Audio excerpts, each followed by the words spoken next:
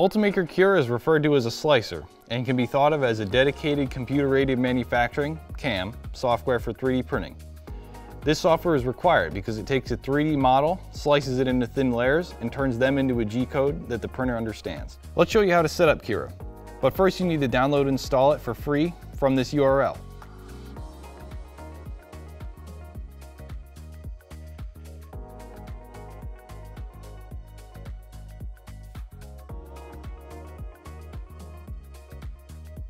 Now that you installed it, on the first start it will welcome you with a screen that says Get Started. Click that. Read and agree to the disclaimer. Click Next on the privacy disclaimer, and you can create an account if you want. I'll hit Skip. Now I have made it to the Add Printer screen. Click the Add a Non-Networked Printer bar, Custom drop-down, and select Custom FFF Printer. You can name the printer here. I'll call it Eastwood Genesis FDM 3D Printer. Press next. This is where it will be handy to have the instruction manual by your side and the micro SD card open on your computer. I'll start by setting the X, Y, and Z axis size, making sure rectangular build plate is checked, heated bed is checked. We want Marlin G-code flavor. We will set the extruder offsets. Make sure we have one extruder set. Leave apply extruder offsets to G-code checked. Start and stop G-code is where it is useful to have the micro SD card inserted as the code is saved there under Cura Setup G-code. Open the text file and copy and paste into start and end G-code boxes.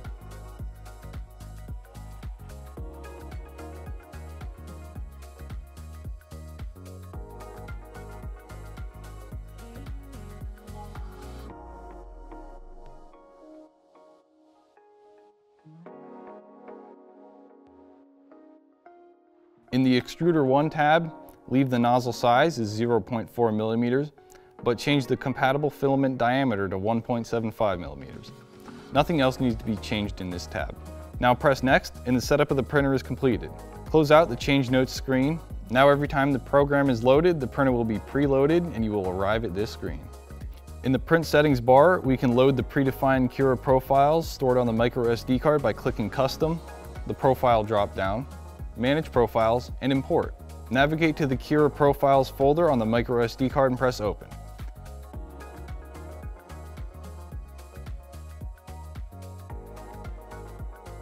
Now you can select it from the Profiles drop down for printing PLA+. Cura is now ready to slice a model.